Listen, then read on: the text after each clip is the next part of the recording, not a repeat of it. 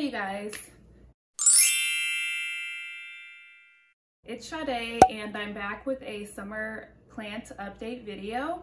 My last plant update was in April, so I have quite a bit of news to share. Um, obviously it's been an entire season, so all summer I haven't posted one of these videos. Um, I did have like a lot of trips and stuff, well not a lot, but I had some longer trips and stuff planned, like my honeymoon and various other trips and just like work and summer life. So some of my plants have suffered from that. There's definitely a few plants that I lost um, during this season. Um, but for the most part, since it is summer, plants have been wanting to grow, wanting to thrive. So um, a, we have a lot more good than bad, basically is what I'm trying to say. And I just can't wait to share that with you guys. Since we're going through a whole season, let me stop talking and let's just get to it. And as always, we're gonna start with those worst plant updates. So the plants that didn't do so well. Let's do it. All right, so the first few plants that I wanna talk about are the ones that are no longer with us. So I'm just gonna list them off and then I might insert a picture of like the last healthy photo of them if I have one. So I know off the top of my head that I lost at least two plants. One was a Fittonia. It was a small Fittonia that lived in a two inch pot. Um, it was just too hard for me to keep up with the watering for that. It needed to be in a humidity dome like it needs a greenhouse. And one of my goals this summer was to build a terrarium and I never got to that. It's not too late, but it's too late for that plant to be in the terrarium. So unfortunately, I just kind of let it go. It was crisping up I know that they come back from that death period, that they come back from anything, but I had already had it come back from death once and I didn't want to do it again.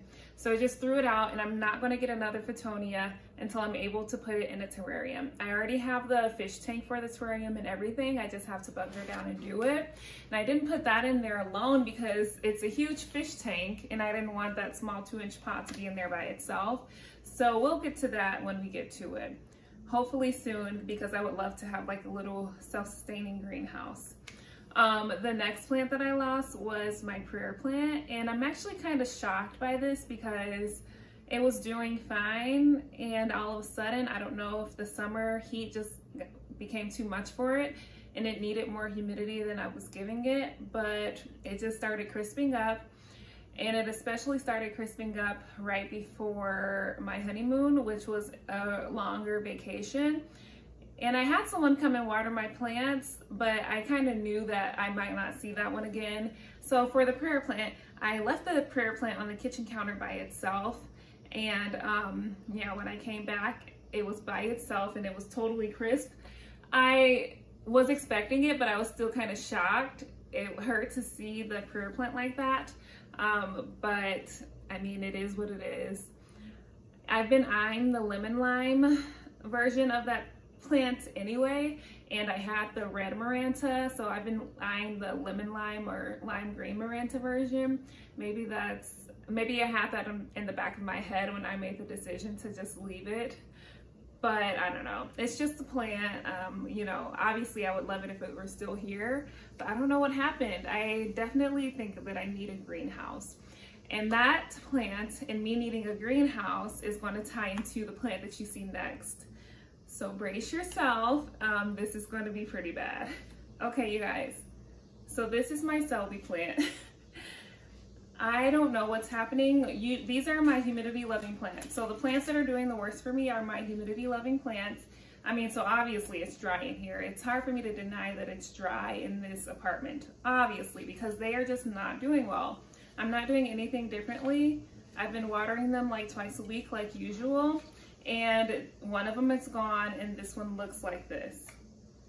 And so a greenhouse is in my near future, hopefully. Um, I, I don't know. I don't know what else to say. I will not throw this away and just leave it on the counter like I did the prayer plant though, because this plant is special to me and I want it to turn around. I want it to come back.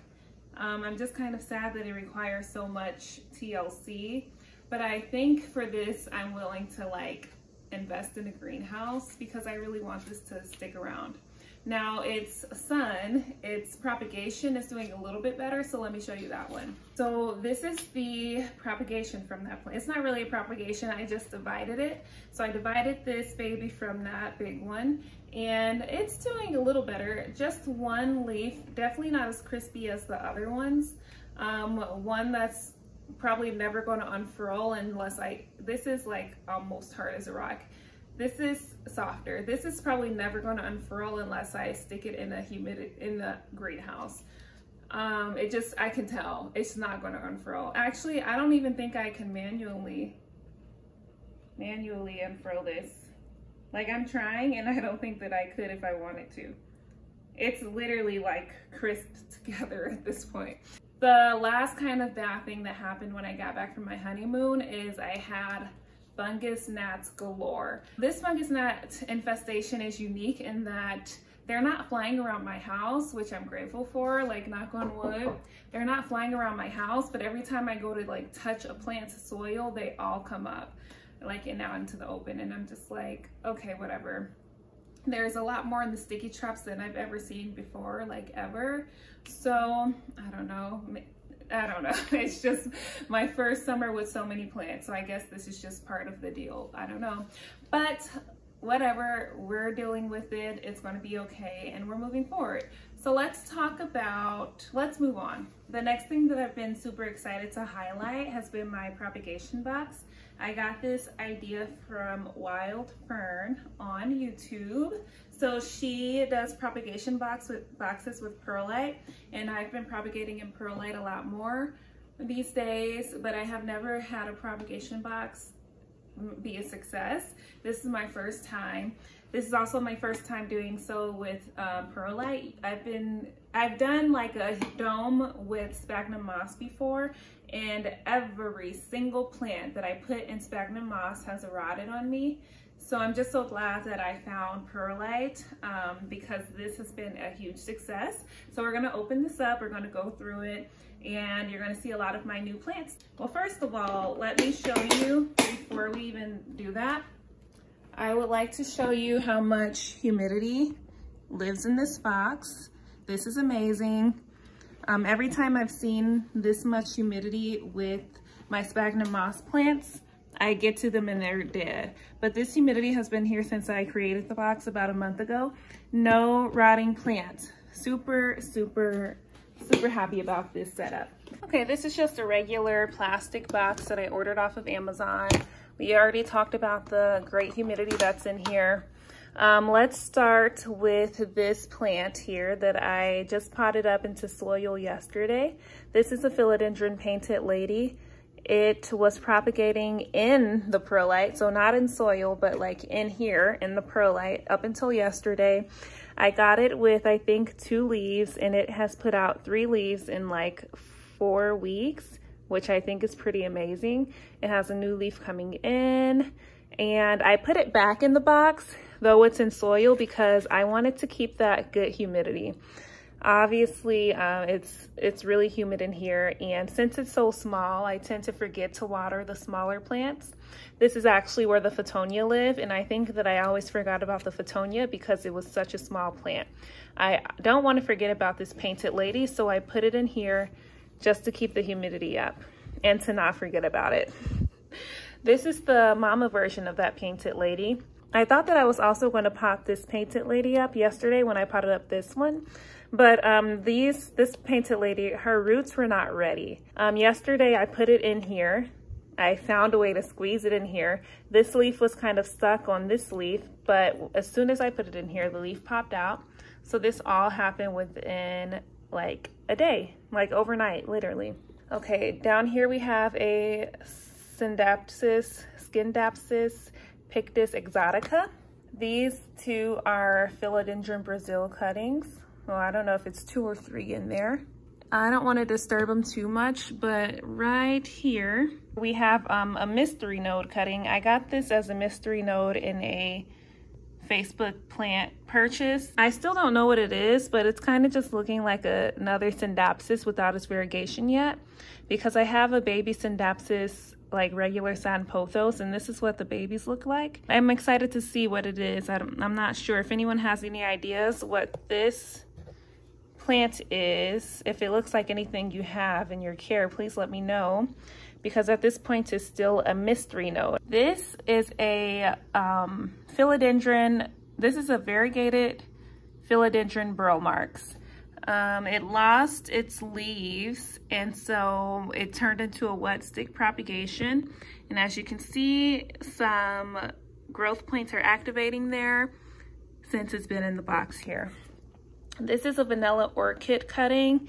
I honestly have no idea what I'm doing with this. I got it with one tiny root on it and it's not doing anything. I've had it for like, I feel like three months and it has not done anything at all. We're gonna see if the box changes anything for this plant, but I mean, it feels kind of like a waste of money because every YouTube video that I see about orchid propagation, they have like a plant with at least like two or three leaves and I got one, I got a plant with only one. So I don't know if anything will ever come of this.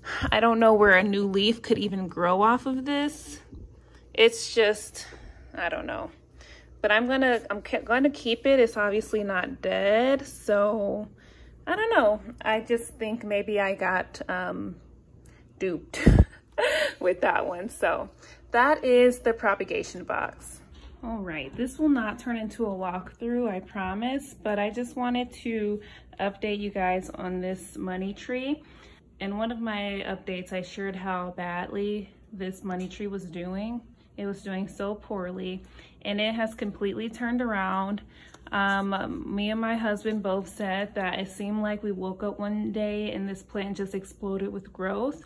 So I do truly think that it was a lighting issue because as soon as I put it by this light, this plant is like three times fuller than it was in that video that I, that last update that I showed. So it's enjoying the summer clearly and it looks so much better. And while we are up walking around, I of course want to shout out my Monstera as always, such a beautiful plant. But this summer, I finally invested in grow lights. So that's the update, not how beautiful my Monstera is, though it is very beautiful. New leaf, or newest leaf, it has plenty of new leaves coming out. But yes, I invested in grow lights. I knew that I wanted this Monstera to live here, and every time I put it here, it just suffered visibly. And so the only way to make it work, since it's so far from any windows, was to get a grow light. I personally think that this is so aesthetically pleasing. I don't know, it's like an industrial light. And obviously I wanted something that shone directly down into the plant. And so I found this and I think that this is just such a lovely setup. It has a long way to go before it ever hits the light. So I think that this is perfect for now. And some of that light also hits my um, Pothos N'Joy, which I absolutely love right now. This is so beautiful and lush. Perfect. This is like the perfect situation. This is exactly what I wanted. Um, I leave this grow light on for it was 10 hours, but I literally just changed it to 12 hours just before this video. And it's on a smart socket, so it turns on and off by itself. It is absolutely perfect. And I have one more grow light. So if we walk over, excuse my Crocs, I have this system here. Um, they're usually plants up there, but I have them down because I am going to talk about them in a minute. So this is um, a system because this bookshelf is so far from the west facing window that plants were just not doing well here and I wanted to style this plant shelf. I don't love this setup as much as my Monstera setup. Like this is not how I want this to look, but it'll do for now. And yeah, this is my Calathea just repotted yesterday. I think it was trying to rot on me, but I think it's absolutely beautiful. This is the newest leaf. My satin pothos. Oh, I have a question actually. Hold on. I was not planning on talking about this plant, but since the camera touched the plant, I figured now is a good time to ask. Does anyone know if this leaf is a different species than the rest of this plant? Because, I mean, I'm sure you can see why. It is so silvery and it looks so, like these two leaves look so much different from these leaves. Like all, literally any of the other leaves, it looks so much different. But this was all given to me in the same pot. Like I purchased all of these plants together, you know, in one pot. And so I'm just curious as to if this is just highly, highly, highly variegated or if it's a different kind of plant. If anyone knows, please let me know because I'm just curious. This is my Monstera adansonii. This is me. Okay, this is my Monstera adansonii, and it's isolated from the others because about a week or two weeks before vacation, my honeymoon, I saw some webbing on it, which is indicative of spider mites. So I treated it for spider mites, and it's been isolating for like four weeks. So hopefully it's okay. I went on vacation, and literally all of this growth, like when I went to my honeymoon, the highest vine was up here. And then when I got back after a week of vacation, these vines were all the way down here. Like, I just think that's amazing. It exploded with growth being in the heat. And um, I don't know, I haven't seen any webbing, but I believe that I'm gonna keep it isolated for a few more weeks before I move it back to its home with everyone else. This is my beautiful, beautiful Adansonii and I plan to cut off these vines. I'm just, I don't want to cut them off because it's reminding me of how much it grew in that time away. But I will be cutting them off, probably putting them back down at the bottom and letting it start over. Um, but yeah, this moss pole though, it's getting a little shaky. So I don't know if it'll be able to sustain too much, too many more vines. Um, anyway, I just kind of wanted to show you guys that. So beautiful. I have a few more plants to share before I close out this video and um, these are all positive things. So let's start with this Hoya. I think this is just a regular Hoya pubicalyx and I got this in a swap, a plant swap, and it's been pretty dormant, just putting out roots for a few week, a few months. I got it a few months ago, and it's finally starting to put out a growth point. I'll just show it in a close-up. It's finally starting to grow, as are a lot of my plant swap plants that I also got in that same swap. So I think that the plants that I got in my last swap are finally settled into their new home because they're all shooting out growth at the same time, um, including, you know which one, let me show you. So this is a plant that I also got at the same time as that Hoya pubicalyx. This is my Monstera albo that I got for $15 in a raffle at a plant swap. And okay, I'm just trying to contain my excitement, but let me tell you guys this story. So three days before my honeymoon, this growth point started activating like really it was all it was always activated. It was activated when i got it in my care but it was the same size for like weeks and weeks and weeks and weeks. And then right before it was time for me to go on vacation it started growing into a leaf like three days before. And i was devastated because i would not be able to witness the growth of my first Monstera albo leaf, like with being here with it every day. I was devastated, I was terrified, I was anxious. I was like, I have to be there to watch it every single day or else the new leaf won't make it. Um, but it made it. I had a family member come and check the plant. So I tried to time it to where I could water it myself without having someone that I, I mean, someone else water it. Um, but it just did not work out that way and I did not want to risk a rot. So you guys, I had to not water it when I did my big water before the vacation. And I had to have my family member water this plant, which is not a huge deal but I knew that if I watered it that day before I left, I was taking a risk and I knew that in a few days it would be good to go. So I trusted someone else to water it and the leaf is here. It's made it. Um, I just, I just cannot believe it. It has a lot of marbling. I wouldn't say a lot of marbling, but it definitely has some visible marbling. Probably can't see it that much because the new leaf is still so light green because it's a baby. Um, but once it gets darker, I believe the marbling will stand out more. And I just am so happy. I'm so happy that I finally got my first albo leaf. So this is a string pot of string of hearts. I have a really, really long string of hearts. Well, it's really long to me. Um, mature string of hearts that I decided to try the butterfly propagation method on. And so this is the result of that. I used the butterfly propagation method from Harli G's Instagram video, I mean not Instagram, from Harli G's YouTube video. What she did is she cut up lots of small hearts, like pairs of hearts, and she put them on sphagnum moss. She watered the moss for like I don't know, until she saw roots and then she put the sphagnum moss directly on soil. And that's exactly what I've done to propagate this new basket of string of hearts. I don't think that I need two baskets of string of hearts, but I just really wanted to propagate it, propagate my plant because it was growing super long. And this is the result. So maybe I'll have like a full basket to share with someone one day.